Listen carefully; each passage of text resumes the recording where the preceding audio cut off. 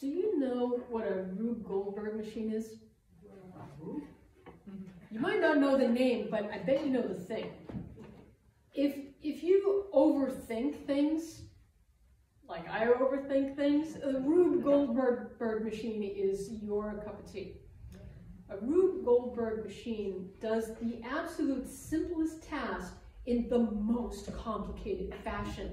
You take a small marble and you push it off a shelf and it falls down and it hits some dominoes and then the dominoes start knocking each other down and then they push a bowling ball down a ramp and that goes down the ramp and goes into the thing and it makes this other thing go off and so on and so forth throughout the entire house until finally a shoe drops and it pushes the toaster down. and then a few minutes later, you have your toast. You, you know the one I'm talking about now? Mm-hmm. They're brilliant. I absolutely love Rube Goldberg machines. Not just because they, I, they appeal to me because of the overfunctioning and the overthinking, but because they make everything so clear and that everything is so interconnected with everything else. What does a marble have to do with toast? Nothing until it does. This machine shows us that everything is really interconnected with everything else. What's happening with one thing inevitably is felt by something else or someone else, even though they might not have anything necessarily to do with the originating action. All things are interconnected between people, between us and our environment, between the created world, between personality types, between generations. You've heard the phrase, the sins of the father are felt by the children afterwards. It's true.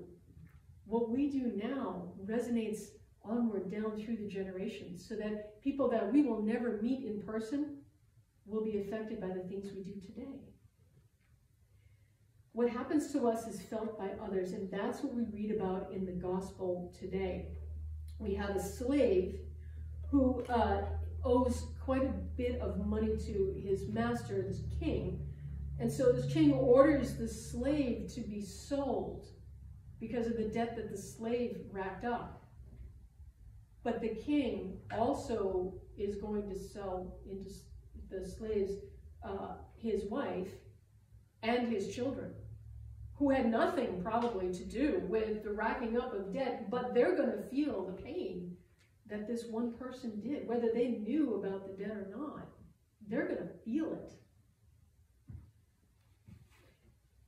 In Psalm 114 that we read today, what happens with the people of Israel is felt in nature itself.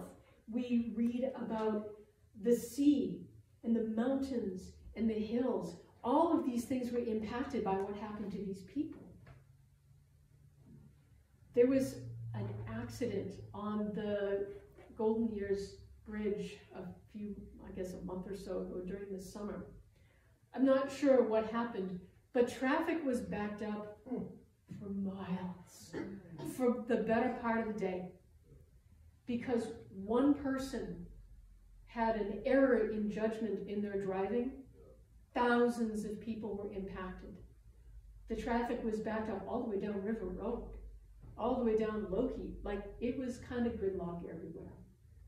Doctor's appointments were missed. Uh, other kinds of appointments were missed. People were late for work if they even got there at all. One person did one thing, and so many people were affected by it. Yesterday, we had the funeral for Shirley Beatty. Many people in this room probably don't even know her, but we are impacted by her life. Some of the, the um, hangings were made by her. Her husband built the railing, right? So did you know that this was built by someone who used to be a parishioner? Now you know. Someone from a previous generation isn't even here anymore, and yet we feel their impact on our lives. The church was pretty full. And the preacher talked about how Shirley was remembered by the grandchildren and the great grand and the great great, and he could have kept going. All of these people have been impacted by the life of, of this one person. maybe both she and her husband could be included in that. But the patterns of behavior that they started to build their family are felt by the generations that come afterwards. People that built this church so long ago impact us today. The generations that brought it across the river and pulled it up the, the street to here, we appreciate the work that they put into the community. We are better people because of the patterns that they started so long ago. Last Sunday in the gospel, we learned from Jesus how we deal with conflict in communities because it's inevitable. And then this week, we learn why forgiveness is so important. Because conflict is inevitable, forgiveness ought to be inevitable also.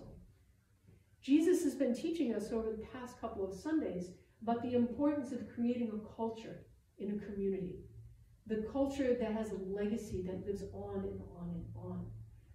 What culture are we creating here with this community that will be felt by the generations that come after us?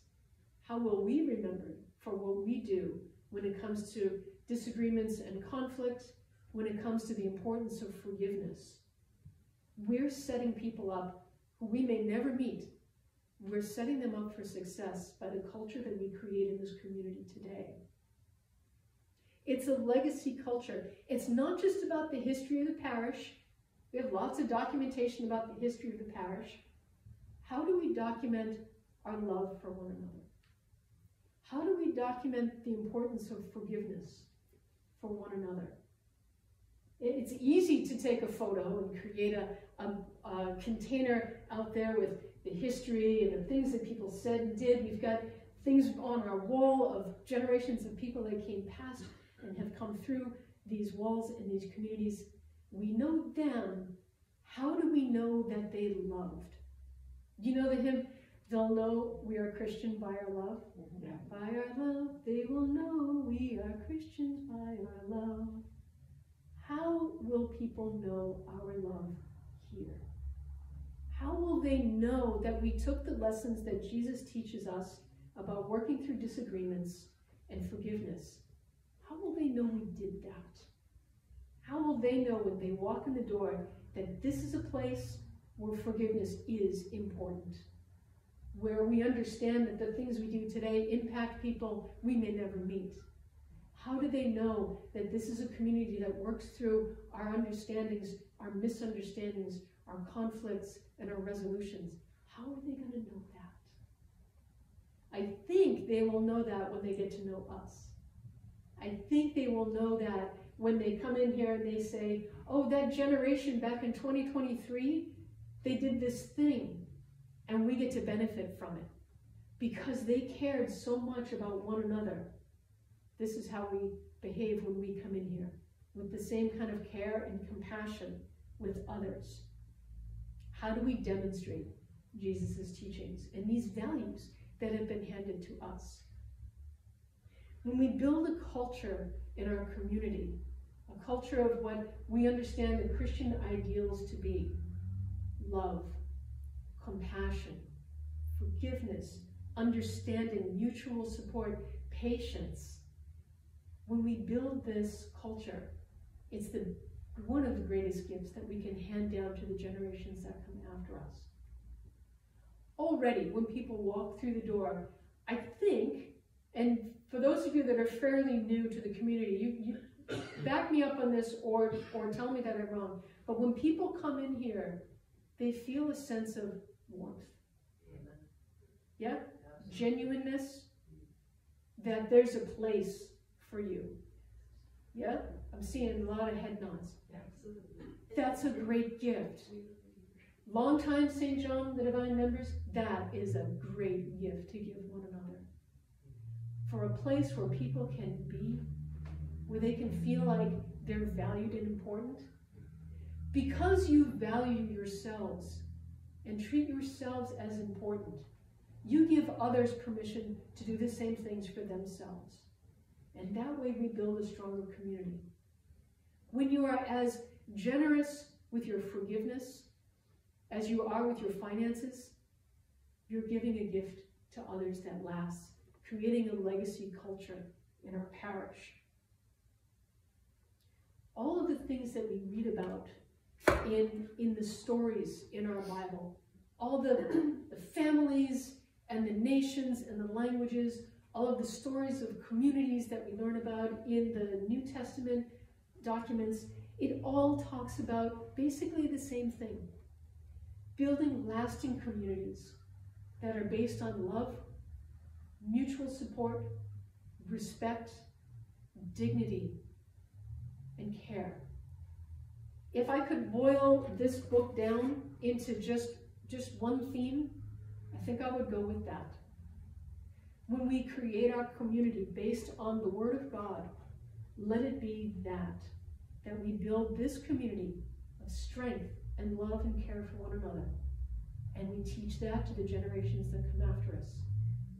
In that way, they will know that we are Christians by that love. And that Amen.